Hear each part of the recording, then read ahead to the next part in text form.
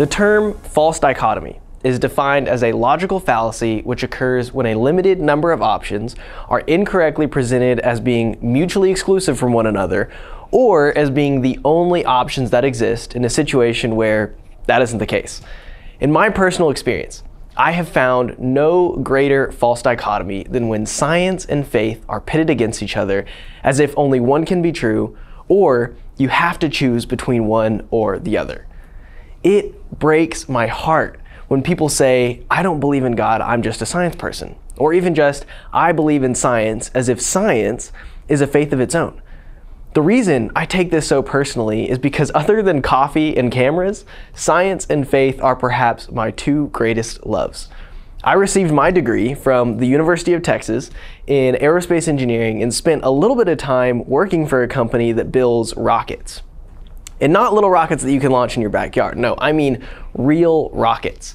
Did you know that the camera in your phone is actually a result of research done by NASA in the 90s to be able to take pictures in space? Ask anyone that knows me, they will confirm I am a nerd. But at the same time, my personal faith is the cornerstone of my life. In fact, now I work full time as the media director here at Northpoint.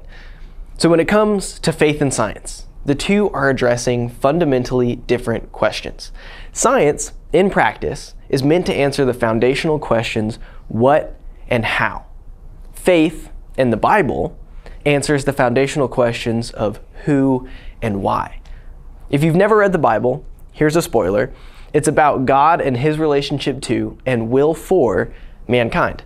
It's about why he sent his son for us. For example, Genesis doesn't tell us exactly how God made the universe, it tells us that He made the universe.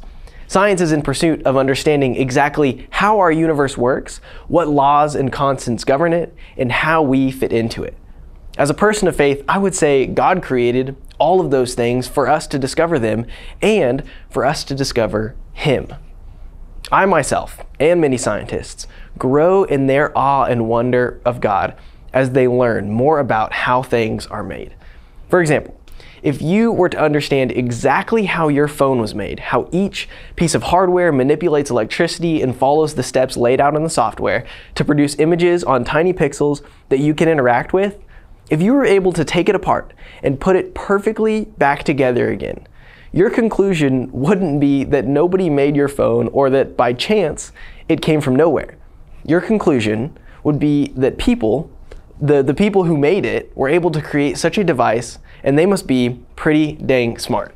And science gives you a fuller appreciation for their skills and creativity as you learn how much innovation goes into one device. Look, the human body alone, the eye, the brain, are infinitely more complex than an iPhone. When you learn that the curve of your eye actually bends light so that the image you see is upside down by the time it reaches your retina, and then your brain inverts the image back so that you can see the world right side up, you get pretty impressed with whoever or whatever made us. And don't even get me started about the beauty and complexity of space. There's one Stanford professor who says that the odds of our universe happening on accident are 1 in 10 to the 40th power. And just for perspective, there aren't even 10 to the 40 atoms in the universe. It would be kind of like putting a piece, uh, every piece of a completely disassembled watch in a shoebox, shaking it once, and then opening it to find a completely assembled and working watch inside. Or even when you realize that if the gravitational constant were even a fraction different, then the whole universe might collapse in on itself, or we would all be gas, or liquid, or maybe even just spontaneously combust you might start to conclude that it takes more faith to think that this is all an accident. And you grow more and more impressed with the really, really smart, really big iPhone maker somewhere out there in the universe. So, my point for this For talk is this if you're not a Christian, don't let science stand in the way of you becoming one. If you're an honest analytical thinker, you know that doesn't even make any sense, anyways. One does not disprove the other. Keep moving.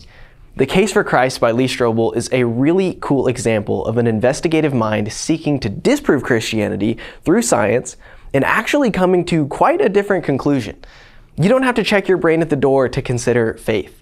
In fact, eight of the highest 10 IQs on the planet believe in a God. And if you are a Christian, don't be afraid of the science questions. We can embrace that world with open arms. And every time we make a new discovery, we get to say, oh, that's how God did it. So, because I'm for you, and because I'm for the next generation, let's change the conversation from science versus faith to science and faith.